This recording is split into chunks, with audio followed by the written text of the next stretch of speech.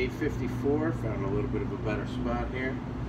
And crank out my morning workout.